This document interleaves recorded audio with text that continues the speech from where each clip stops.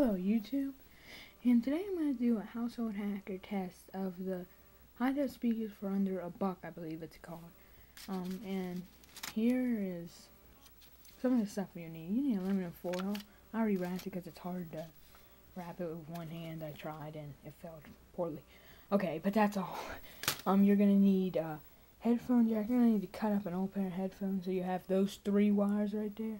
You're going to need a shiny penny shiny penny for is what it's going to be.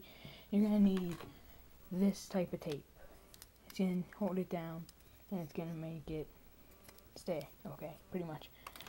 Um, first, they say to make sure the boards are snugly because you can see that you eat up, eat on. It has to be completely covered the other side. It doesn't matter. Then place your penny in the center is what they say to do. Take your wire and cover it and take your piece of tape and cover that. Then take your end of the headphone jack and plug it in. So let's plug them in and we'll see if it works. Hang on a second.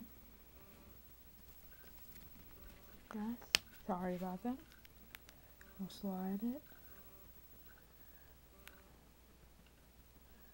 We'll go to music. I, am sorry, this is really. I gotta turn the brightness down this so I can. Pick a song, whatever it is. Maybe that one does matter. It's bad day.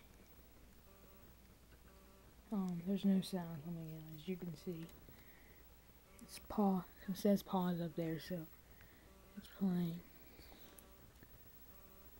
blues up, as you can see, and it's not playing, so they fail, I guess. Um, too bad for them. So, I guess I'll see you guys later.